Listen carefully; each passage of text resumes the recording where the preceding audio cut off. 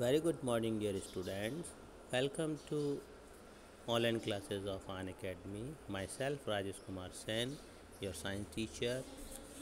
The fourth chapter of uh, your book, it is chemical reaction is going on. The last two topics which are remain, today we will discuss about that. The first topic it is reactivity series.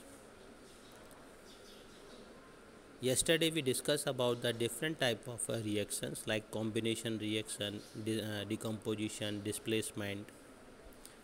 So how the different elements react with other elements कि एक element दूसरे element के साथ किस तरीके से react करता है उसके अकॉर्डिंग जो डिफरेंट एलिमेंट्स उनको उनकी डिसेंडिंग ऑर्डर में रिएक्टिविटी की डिसेंडिंग ऑर्डर में हम अरेंज करते हैं तो अलॉन्ग साइड में ये टेबल आप देख रहे हैं इस टेबल में आपको दिया हुआ potassium, sodium, calcium, magnesium, aluminium, zinc, iron, tin, lead, hydrogen, copper, silver, gold, platinum. ये इनकी डिसेंडिंग ऑर्डर में, रिएक्टिविटी की डिसेंडिंग ऑर्डर में है। तो इससे पता चलता है कि पोटेशियम सबसे हाईएस्ट रिएक्टिव मेटल होता है।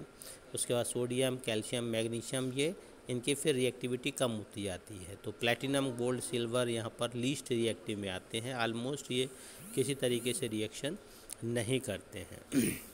तो डेफिनेशन फॉर्म में हम कह सकते हैं a series in which all the metals are arrange in order ये यहाँ पर ये लिखी हुई है definition in order of their descending reactivity is called the reactivity series last topic आपका आता है, उसे कहते हैं double displacement reaction double displacement reaction इसमें क्या है?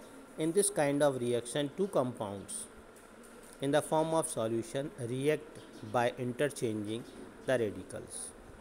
इसमें दो कंपाउंड्स होते हैं? जैसे फॉर एग्जांपल हमने सोडियम क्लोराइड लिया और सिल्वर नाइट्रेट लिया। दोनों ही कंपाउंड सॉल्ट हैं। दोनों के एक्विस सॉल्यूशन हम लेते हैं। जब दोनों में रिएक्शन कराते हैं तो रिएक्शन के बाद में जो क्लोरीन और नाइट्रेट ये रेडिकल्स नेगेटिव रेडिकल्स हैं, ये इंटरचेंज हो जाते हैं। क्लोरीन सिल्वर के साथ में और नाइट्रेट सोडियम के साइड में आ जाता है। इस तरीके से जो प्रोडक्ट बनता है, सिल्वर क्लोराइड और सोडियम नाइट्रेट बनता है। तो यहाँ पर जो रेडिकल का एक्सचेंज हुआ कि दोनों ने अपने अपने रेडिकल्स को एक्सचेंज कर दिया तो इससे हम डबल डिस्प्लेसमेंट रिएक्शन बोलते हैं। ओके? तो ये हमारा आज का टॉपिक था। जो रिमेनिंग टॉपिक हमारा जो बचा हुआ था, वो topic. Okay. So the tap, uh, explanation of this uh, chapter is completed. Have a good day all of you